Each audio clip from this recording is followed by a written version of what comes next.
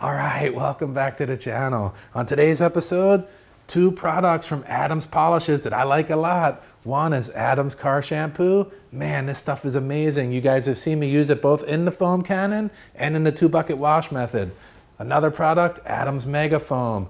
Man, I've used this in the foam cannon quite a bit. It puts on that really nice, rich, thick lather, and man, it's got a nice slick feel to it once it's on the paint too. Now, normally when I use the Adams Mega Foam, I use it out of this small bottle. It's got that pop top on it, and it's easy to fill the foam cannon. I like that too, and then I just do refills. But let's talk about the differences between the two products. At the time of the filming, Adams Mega Foam, $59 for a gallon. Adams Car Shampoo, $39 per gallon. So a $20 difference. But right off the bat, the, one of the main differences is Adams Mega Foam only calls for one to two ounces per foam cannon to get the job done. So today we're going to be putting two ounces in there. Adams Car Shampoo, requires three to four ounces. Now I like to put five when I use it because it puts on just an even nice thicker lather, which is awesome. But today for the filming, we're gonna be putting four ounces in here. So it requires twice as much Adams car shampoo as it does Mega Foam. So there's some value there, even though this one's $20 more. Another thing, Adams Mega Foam. Man, it's nice loose consistency. It mixes up really easy, pours into the foam cannon really easy. Adams Car Shampoo, on the other hand, man, that stuff's like honey, man. It takes a second or two to get down in there, and then it tends to lay on the bottom, and you got to mix it up a little bit more. That's all right. It works awesome. I don't mind, but I just wanted to share that with you. So on the label also, Adams Megafoam talks uh, mainly about using it in a foam cannon and then using a two bucket wash method to, to work the product once it's on the paint. Adams Car Shampoo, on the other hand, talks about on the label both foam cannon use and mixing up a soapy bucket for your two bucket wash method. So that's a little different uh, usage for the product also. So without any further delay, man, all this talk don't matter if we don't get some foam on the car. So let's get it mixed up get it on the pressure washer and get it out there on the vehicle and see what it looks like. Yeah.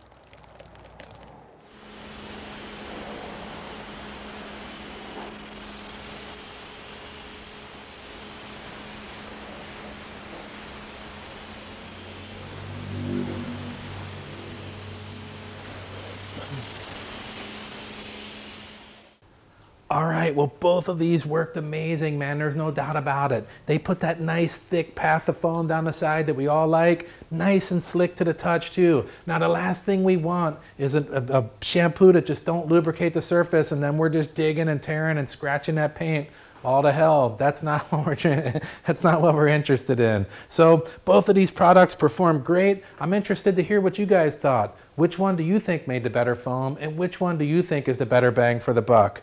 I personally think that both of them performed well.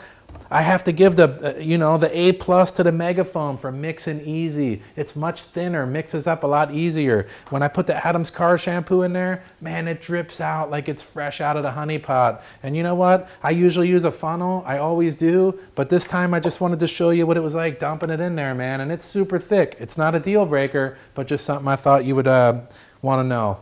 All right, so I'll leave links to all this stuff down in the description so that you can go check them out. And if you do, I always appreciate it, man. Also, if you like these kind of videos, consider hitting that subscribe button. Join the team, turn on the bell so you don't miss any future videos. Also, the like button helps too, man. You know it does.